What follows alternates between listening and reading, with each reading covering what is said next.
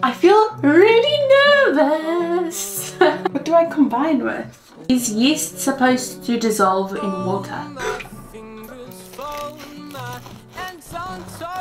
It's so soft. Hey friend, welcome to another video. Today I'm starting a new series on here testing TikTok recipes. As a food content creator, I spend most of my time creating my own recipes and every now and then I come across a recipe on TikTok and I'm like, I really want to make that. So I thought I would start a little series on here and we can make some TikTok recipes together, test them out and see how they turn out and just have some fun with it, I guess.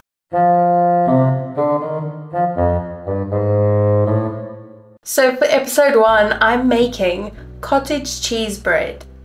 You won't find this bread in any store, just listen to this. This recipe is by Carolina Gelen? Gielen? Gielen? I'm not quite sure how to say her name, so I'm sorry if I'm saying it wrong. When I saw this recipe, I was like, Immediately yes. this is a bit of me. So it says here it's a high protein alternative to your favorite sandwich bread. It looks absolutely incredible. Looks amazing and I can't wait to make it. It's a tender delicious sandwich bread with a little extra protein. Depending on the cottage cheese and bread you're using, each slice could contain up to 15 grams of protein. That's pretty impressive. The process is just as simple and basic as making any homemade bread. The only difference is the wet ingredients will contain water, yeast, blended cottage cheese and egg whites. The bread ends up being super tender and moist similar to brioche or milk bread but a little more firm and crusty. So this sounds phenomenal. Before I start making the recipe, I have to make a disclaimer and say that I have never successfully baked with yeast. I've tried it a few times and I think I'm just a little bit impatient, but I'm gonna give it a go and I'm gonna try my best at this today. anyway, I'm gonna gather my ingredients and then we can get started. So these are the ingredients we're gonna need. It's only six ingredients, which I love. So we've got dry yeast, lukewarm water, white bread flour, we've got cottage cheese of course, some salt and then eggs. The recipe calls for egg whites but I'm gonna just separate the yolks and the whites from these eggs. You know it's getting real when I put an apron on and tie my hair. So I've read through the recipe once. I think it's a great idea before you start making a recipe, just read through it, make sure you have all your ingredients and you kind of have an idea of what you're doing. I feel really nervous. okay, step one is to combine the lukewarm water with the yeast. What I really love about this recipe is that Caroline has given me the grams and the cup measurements. I'm a gram gal. 75 grams of lukewarm water. I've mentioned it before, but using grams when baking is just so much better. So much more accurate and that's what I believe. I've just annihilated this box. Oh well. Okay, 5 grams of active dry yeast. Hmm, so each pack is 6 grams, but I only need 5 grams. I'm doing everything by the book. It needs to be perfect. 5 grams. 5 grams. Combine. What do I combine with? Gonna use a spoon.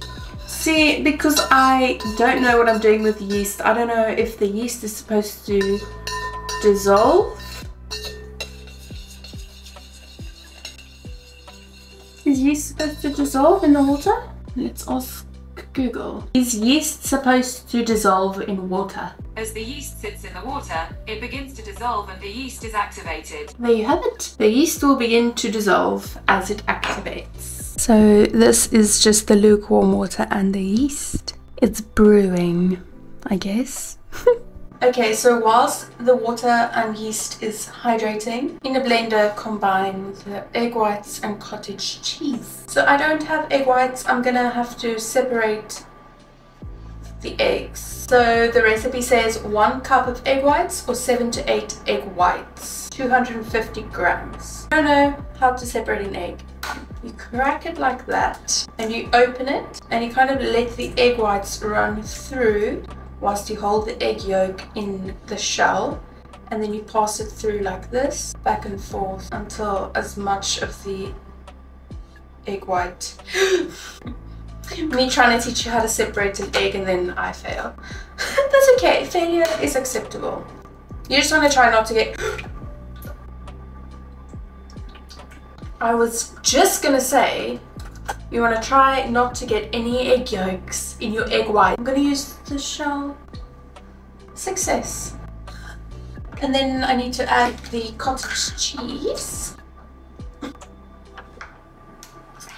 Glossy. Okay, 255 grams of cottage cheese. And then we blend.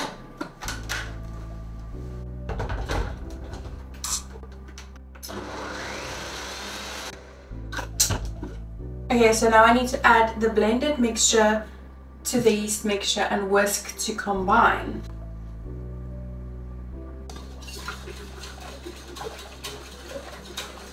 I think that'll do.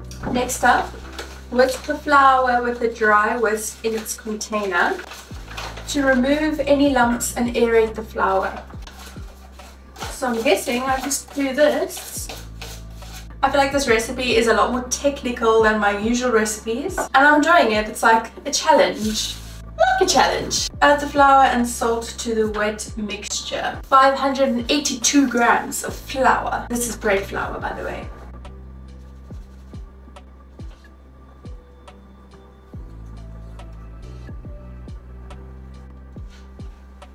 582 and 10 grams of salt. And then whisk using a Dutch whisk or fork. You will be left with a shaggy, sticky dough.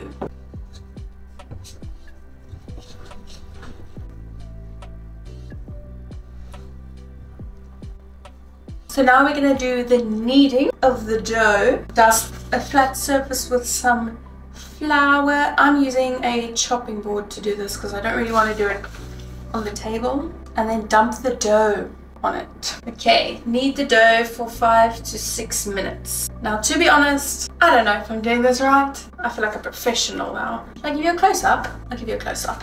okay, so the recipe says to knead the dough for five to six minutes or until it starts looking smooth. You can also use a stand mixer, use a bench scraper to help lift the sticky dough from the work surface. Shape the dough into a ball and then place it back in the mixing bowl. And then the next step is to cover and leave in a warm spot to proof for an hour. That might be a little bit of a challenge because it is pretty cold right now. So I'm gonna go on a hunt for a warm spot and then I will be back in an hour. Or for you, it'll just be a couple of seconds, but see ya. I'm feeling a little bit dubious about the situation.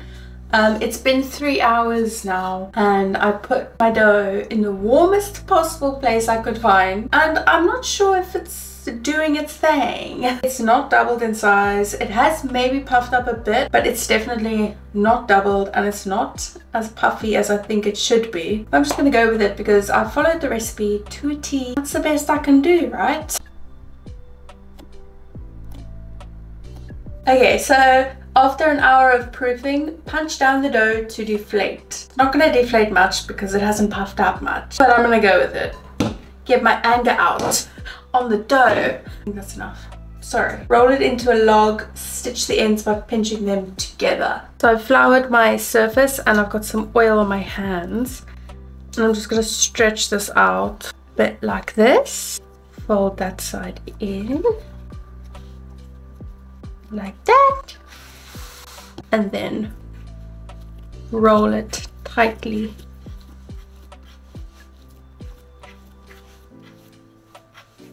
into a log. And pinch in the sides like this.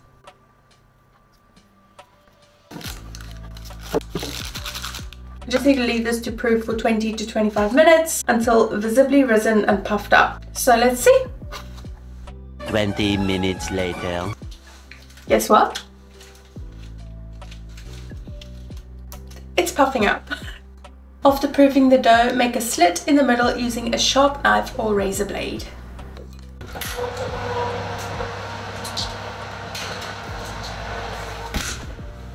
Are you ready for the grand reveal? I baked this for 40 minutes, but after 20 minutes I covered it with some foil because I saw it was going a bit dark. So I put some foil over the top for the second 20 minutes. And now, dun, dun, dun, she is a bit wonky. but I'm putting that down to the fact that my loaf tin was not the right size. But that's not bad. I'm happy. I'm gonna slice her open and see what she's like.